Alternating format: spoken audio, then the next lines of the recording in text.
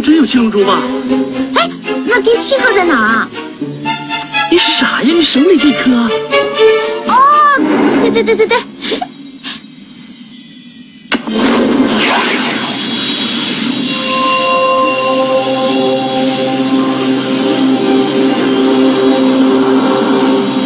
我的妈呀！不会真的召唤神龙了吧？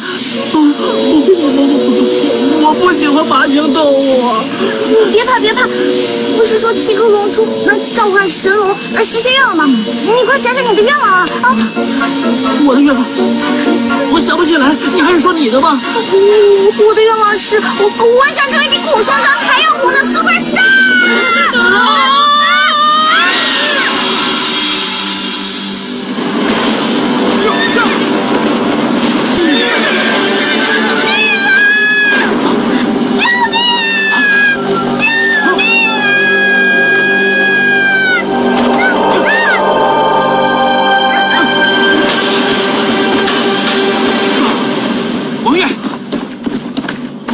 王爷，王爷，王爷，哎，你们哪个组的？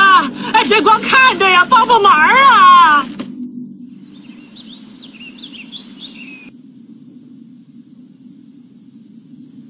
小将军，现在怎么办？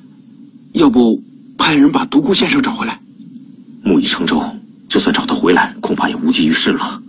再说了，如果能被你找到的，就不是独孤远了。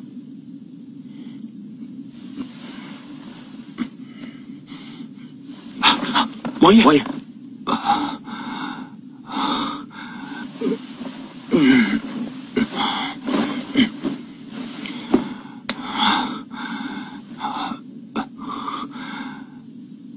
什么时辰了？王爷，不用去了。刚刚探子回报，大王爷孤军奋战，被敌军围困，战死了。那个人呢？在厢房。御医说他伤得很重，还不知道什么时候能醒来。王爷，大王爷崩逝，皇上和皇后必定伤心不已。这时候还是进宫比较重要。对，李成，你留下，一旦那个人醒来，立刻汇报。是。尹浩，随我入宫。是。还没有，不过我们已经审过他的同伙了。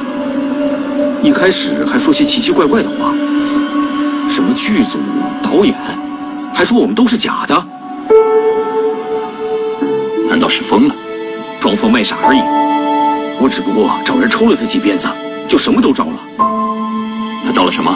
他说他和他家小姐是在游历山水，半路被山贼劫持，山贼起了色心，他家小姐不从，就从悬崖上跳了下来，他也跟着跳了下来。